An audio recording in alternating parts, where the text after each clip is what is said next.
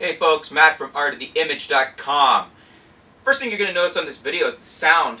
I'm not using my Zoom H2 and this is the sound off of the D7000. Camera's about 10 feet away from me filming this.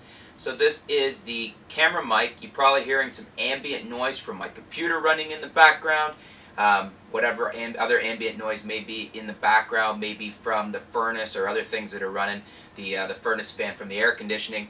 Um, but what I want to show you and why I'm doing it this way is I have a lavalier wireless mic set up here. This is the Sony WCS999. Now some of you have probably seen this if you're looking for lav mics, some of you have even purchased this. These are about a hundred bucks for the set on Amazon um, or B&H or wherever you're shopping. So basically what we have is we have the, um, the receiver, should, sorry, this is the transmitter with the mic on it, and here is the receiver which you would plug into your camera or you could plug it into the Zoom H2. I've done that as well. Um, and basically, very inexpensive setup to go for a wireless lav mic. The uh, Here's the actual lav mic that plugs into the, the transmitter. It's got three channels, so we've got channel 1, 2, and 3 we can choose from. Power on, power off. I'll show you some close-ups of these in a minute. And um, basically, um, a nice little setup for very cheap. Now, the thing for me is, the sound quality on these is okay. It's not great. Um, I do find uh, the, the, the lav mic doesn't come with a windscreen, doesn't come with a little foamy, and I find that the, um, the cord is probably not that well insulated because it's very sensitive to pops and bangs if you hit your body or whatnot. And the other thing with lav mics you have to be really careful of, depending on where you position it, if you move your head around uh, as you're talking, you're not going to hear the sound very clearly.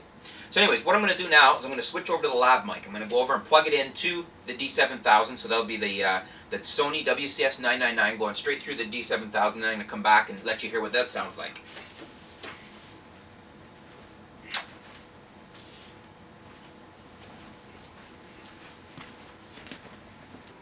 Okay, so I've just switched the power on, and I'm just going to pin this the way you're supposed to. You can either do a couple things with the with the lav mic. You can tape it to your chest underneath your shirt. A lot of people do that. Um, or you can just clip it. You'll see a lot of people clip it to their, their shirt here. I'm assuming you can hear me. I've got everything switched on here. So here's the lav mic um, clipped to my shirt where a lot of people would wear it. Um, you can probably hear the sound now. Hopefully the sound is coming through fine. And um, what I'm going to try and show you is, as I turn my head, I'm going to go this way, and we'll see if the sound quality, I'm going to listen to this myself once we do this, but see, as I move my head around, the various uh, changes in the sound quality, or if I'm looking down at something, this is what the voice would sound like, or if I look up, or if we move over to the left and we're talking, and we'll see if we can hear any differences in the sound quality to illustrate what I was talking about. And um, the other thing is, is if you're moving around or hitting something, like if I was moving around and the cord gets hit. See, I'm going to tap the cord right now while I'm talking, and we're going to see what kind of pops and hisses you might hear on that.